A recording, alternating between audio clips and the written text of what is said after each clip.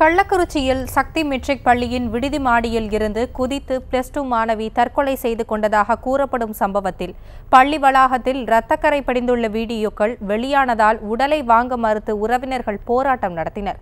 ஆனால் நாங்கள் காசு வாங்கிக் கொண்டு வேலை செய்யவில்லை என டிஎஸ்பி ஆவேசமாக பேசியதை அடுத்து பிரதே பிரேத பரிசோதனை மற்றும் சம்மந்தம் தெரிவித்துள்ளது.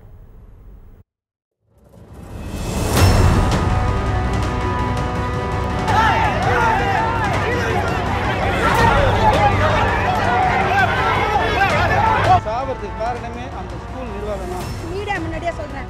என் பொண்ணு பேர்ல எத்தனையோ அனாதை குழந்தைங்க எல்லாம் படிக்கணும்.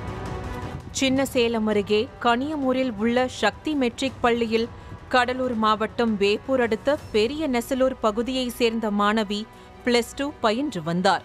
தனக்கு பள்ளி நிர்வாகத்தின் கீழ் படிக்க பிடிக்கவில்லை என்றும் டிசி தருமாறும் பெற்றோர் மூலம் ஏற்கனவே அந்த மாணவி கேட்டதாக கூறப்படுகிறது.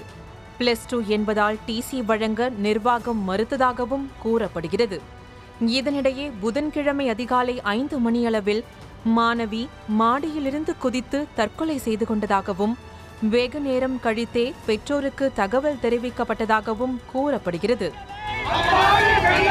பள்ளி என்ற பெயரிலே படுகொலை செய்த படுகொலை செய்த நிர்வாகமே நிர்வாகமே இதனிடையே மேலிருந்து கீழே குதித்ததாக கூறப்படும் நிலையில் பள்ளியின் வளாகத்தில் இரத்த கரை இருப்பதாக கூறி பெற்றோர் குற்றம் சாட்டுகின்றனர்.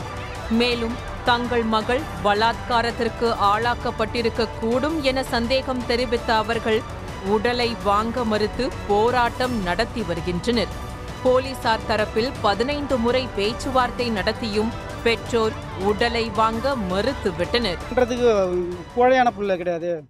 துணிச்சலான பிள்ளை. அதனால் வந்து சாவறதுக்கு காரணமே அந்த ஸ்கூல் நிர்வாகம் தான்.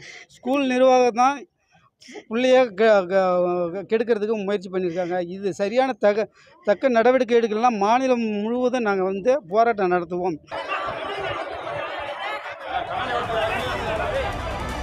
மிகப்பெரிய இழப்பீட்டை பள்ளி நிர்வாகம் வழங்க வேண்டும் என்றும் அதை தங்கள் மகள் பெயரில் ஆதரவற்ற பள்ளி குழந்தைகளின் படிப்புக்கு செலவழிக்க வேண்டும் என்றும் கோரிக்கை விடுத்துள்ளனர். என் பொண்ணுக்கு பெரிய நஷ்டீடு.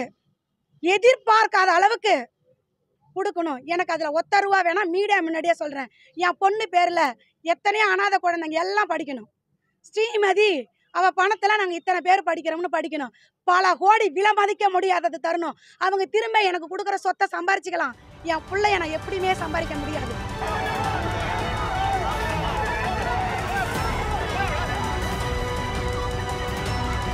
பள்ளியில் இருக்கும் சிசிடிவியில் பதிவான காட்சிகளை தெளிவாக காட்ட மறுப்பதாகவும் பெற்றோர் குற்றம் சாட்டியுள்ளனர்.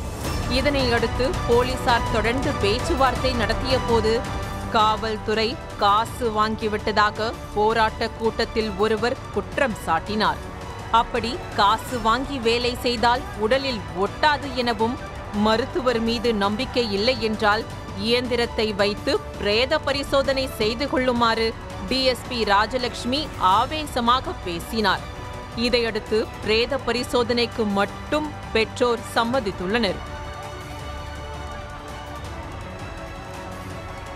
இதனிடையே உயிரிழந்த மாணவியின் குடும்பத்திற்கு இருபத்தி ஐந்து லட்சம் ரூபாய் இழப்பீடு வழங்க வேண்டும் எனவும் இறப்புக்கு காரணமானவர்களுக்கு தமிழக அரசு கடுமையான தண்டனை பெற்றுத்தர வேண்டும் என பாமக நிறுவனர் அன்புமணி ராமதாஸ் கோரிக்கை விடுத்துள்ளார்.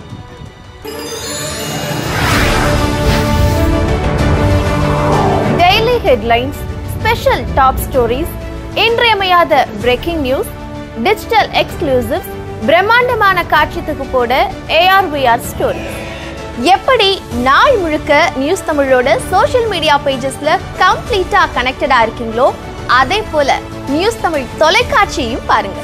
உங்க ஃபேவரட் நியூஸ் தமிழ் சேனலை டிடிஹெச் சர்வீசஸ்ல பார்க்க ஏர்டெல் டிடிஹெச்ல இந்த நம்பர்லையும் டாடா பிளேல இந்த நம்பர்லையும் டிஷ் டிவில இந்த நம்பர்லையும் பார்க்கலாம். ஸ்டே டியூன்ட் அண்ட் கீப் வாட்சிங் நியூஸ் தமிழ்.